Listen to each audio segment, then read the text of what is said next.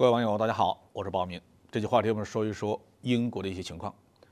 中英黄金时代已经结束了吗？苏纳克再一次表示啊，要重构对华政策。英国首相苏纳克在十一月二十九号扬言，英国要改变对华政策。两国之间所谓的黄金时代已经结束了。他说啊，中国对我们的价值观和利益构成了系统性的挑战。苏纳克在竞选期间和上任之后，对于中英关系都做出了开历史倒车的举动。这并不因为他是印度的血统，要在国际事务上为印度出一口气。正如印度网民所说的，几年来连印度总理都没有为印度做些什么，更别指望英国首相了。苏纳克为什么放着诸多的内外麻烦不去处理，总是拿中英关系来做文章呢？分析来分析去，只有这样一种可能性。那就是不当家不知柴米贵，不当官不知道断案难。苏纳克虽然此前当过英国的财政大臣，但毕竟只是负责财税方面的事务，并没有承担首相所需要承担的责任和压力。他好不容易当上这个英国首相之后，却发现这个家实在是太不好当了。在内部问题上，英国不但面临着数百亿英镑的财政窟窿，而且苏格兰正在谋求投票独立。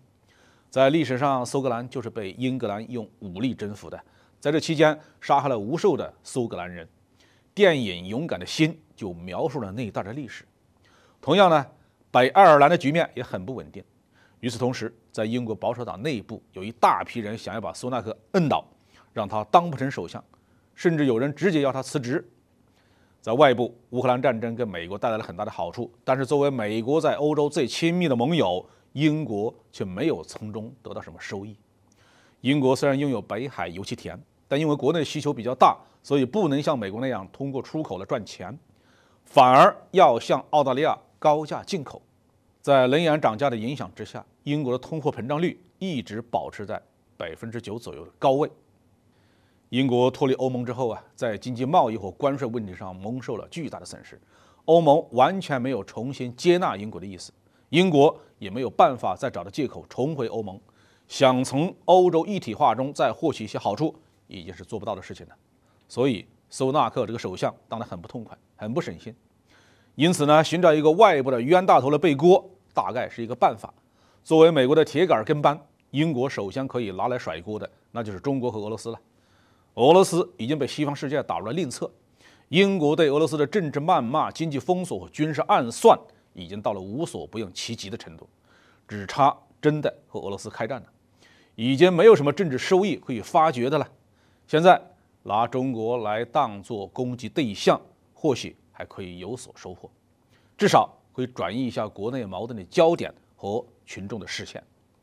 近十年来，中英关系弹牙式的下跌，这主要是因为英国历届政府紧密的追随美国，借机发泄被从香港赶走的愤懑。特朗普上台采取全面的反华政策，英国积极配合，取消了多个与中方的合作项目。在2019年的香港暴乱期间，英国政府扮演了极不光彩的角色，直接出手破坏香港社会稳定。所有这一切导致了中英关系跌到了低谷。苏纳克不但不去修复中英关系，反而扬言中英之间的黄金时代已经结束了。他的言辞啊，让人感到非常的可笑。如果这种恶劣的双边关系还能称之为黄金时代，那么他到底要把中英关系带到哪条路上去呢？